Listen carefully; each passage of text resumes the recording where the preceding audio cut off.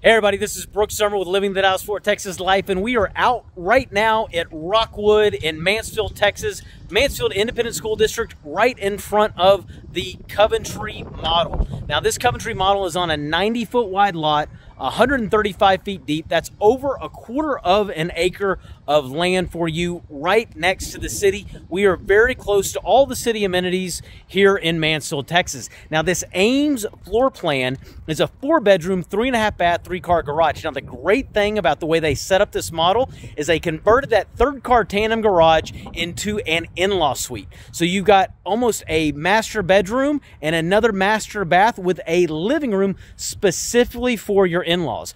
But if you have those visitors that come and like to stay long and you say, I don't know if they're ever going to leave, this may not be the plan for you, but let's go take a look and let you find out.